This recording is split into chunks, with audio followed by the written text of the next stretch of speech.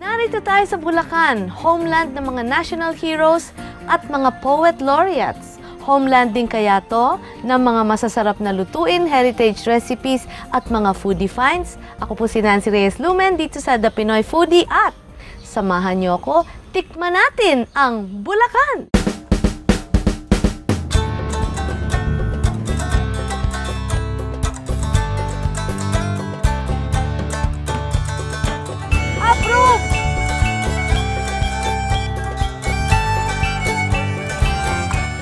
Masasabi ko sa inyong Pinoy foodie, maghanda na kayo ng extra rice dito sa masarap na bibi.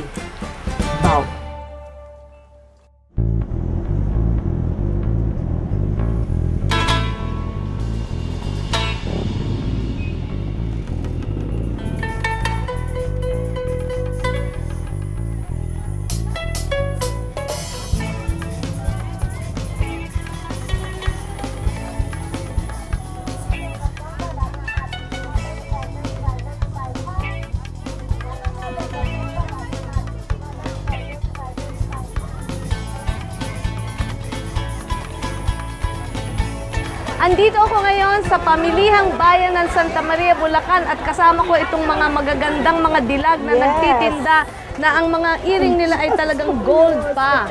Panahon ngayon ng ulam at panahon din ngayon ng talangka. Kaya yan ang ating hahanapin dito sa Santa Maria, Santa Maria, Bulacan. Patingin ng talangka. Ano yung sabi mo kanina? Pehe. Talangkang pehe. Yan. Ah, malalaki. Nako, yan ang ugaling talangka Binibig na hindi natin dapat talaga gagayahin, nakakapit. Pero gusto ko babae, babae, babae, babae. Ayoko ng lalaki. Ayoko ha? Ayoko ng lalaking talangka. Ito, buhay pa kanina. Opo, eto, buhay pa po yun. Meron pa kong ano, ngayon po yan. eh. Saan? Yan, buhay yan. Saan yung iba? Kano lahat? 75 po, tsaka 90, 165. Ang mahal pala ng talangka, hindi ko akalain. Cerillas. Magkano? Ay, gusto ko yan, violet. Isang ano, oo. 75 na. 80. Gaano karami isang guhit? Ganyan? Kano yan? Anong color approve ako sa kanyang sombrero. Ito.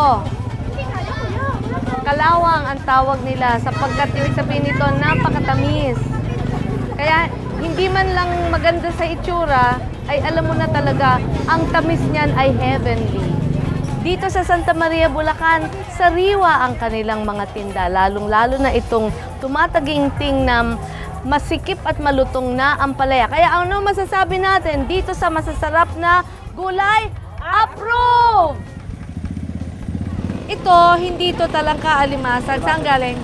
Sa dagat po, sa Pamarawan. Pamarawan? Saan yung Pamarawan? Nakakasama po Malolos eh. Tsaka Bataan.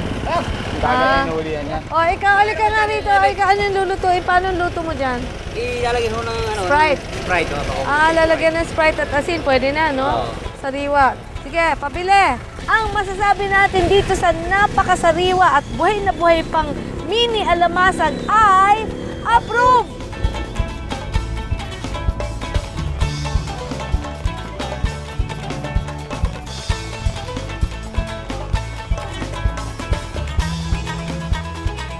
Isa dito sa mga common eksena na nakikita natin sa mga um, backyards ng mga Bulacan ay ang paglilitsyon sapagkat mahilig kumain ng baboy ang mga Tagalog at mga Bulakenyo. Bulakenyo po, di ba? opo, opo. Andito ako kasama ko si Councilman Esting Gole Cruz. At ito, ang kanyang backyard industry. Naglilitsyon. Dinadala yung baboy sa inyo, tapos nililitsyon mo. Apo, labor lang po. Labor. Ang nalaman ko dito, ang pinapahid nyo ay Sabaw po ng buko at sabaw ng buko. O, at ang mahalaga dito ay yung pagtimpla ng uling. Kailangan talaga alam nyo kung gaano kataas at kung gaano kalayo sa lechon. Ngunit, maliban pa dyan, ang isa sa mga backyard industry ni Councilman ay ang chicharon. Opo, ang chicharong ah, urig. Urig talaga. Para lang po rito sa amin sa mag-isawang sapa. Ah, ayan. Ngunit, hindi yan ang ating titikman na gagawin sa atin ni Mang Esting. Ayan ay gagawa siya ng kakaibang kalderetang bibi. Nai-imagine ko na yung lasa kaya tara na, tutuin na natin yan. Goodbye, lechon! Coming up next at the Pinoy Foodie.